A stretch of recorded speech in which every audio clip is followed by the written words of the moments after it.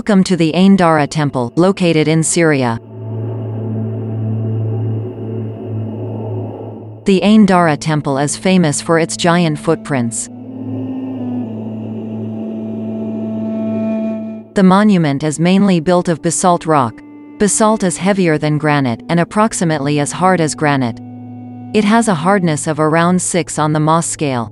Basalt is too hard to be cut with only bronze or even steel tools. The first question that comes to mind is, how are the statues made with only primitive tools? The question is never sufficiently answered. Today, such stone work is only done with high-tech tools. There is no stone cutter in the world who is capable to make such stone work with the proposed primitive tools. There are all sorts of ideas, however, none of these ideas are ever tried out. Proposing ideas are easy, putting them into practice is another thing. Some of the stone details of the Ain Dara temple have similarities with the Wing Sumerian statues. The temple is heavily damaged in recent bombardments. We have found compelling evidence of the temple's true age. Stone monuments cannot be dated as archaeologists claim. A stone, a rock, an ancient megalithic wall, can wait patiently for hundreds of thousands of years without giving a whimper. For us, mortal humans, that is very hard to comprehend. And because the current dating techniques of ancient monuments are unscientific, born from the minds of mortal egos, they are as unreliable as it can get. A very brief introduction to our method. We have proven with our method that the geographic pole, the spin axis, of the Earth has moved. The distances between the spin axes correlates one-on-one -on -one with the glaciation cycles. That gave us reliable clues as to how old these former poles, and the related ancient monuments, really are. The probability for the patterns to be coincidental is less than 0.4%.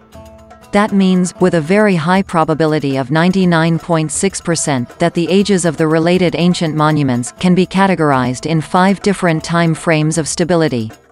Today, we also live in a stable time frame. The periods in between the stable time frames, the periods of chaos and instability, last for tens of thousands of years. The majority of the original foundations, of the many ancient stone monuments around the world, are a few hundreds of thousands of years old. There might have been countless renovations on top of the very ancient foundations, however, most of the orientations remained the same.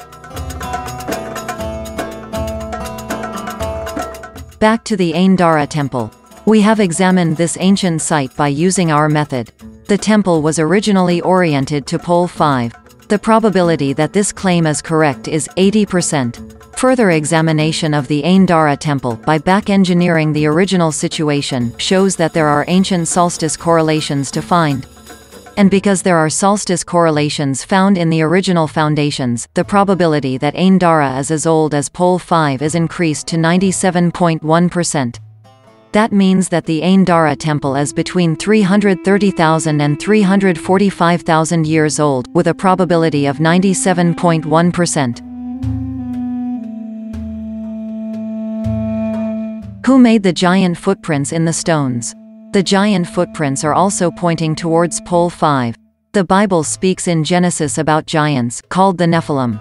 Similar texts can be found in the Sumerian tablets. This was, according to the Bible, the days before the deluge. And we agree with that. There were even multiple deluges, or earth crust deformations. For giants, and dinosaurs, to thrive on this planet, gravity had to be lower than today. In short, we have found compelling evidence that the Earth is growing, and that this growth periods were one of the main causes for the geo-North Pole to migrate.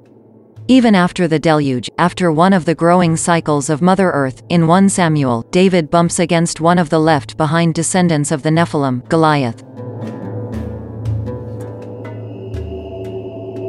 And indeed, the Temple of King David is recently excavated in Jerusalem. This temple is also counterclockwise oriented to one of the ancient, more recent poles. There is much more about the ancient world that we have discovered, and we will publish them one by one. Give a thumbs up if you like this video. Please share it with your friends and followers, and let us know what you think below in the comments section. One last thing. Our work is difficult, and because we tread uncharted territory, our progress is steady but slow. We are not here to entertain you with superficial daily videos. We are here to inform you, and to pave the way to new methods of researching our ancient history.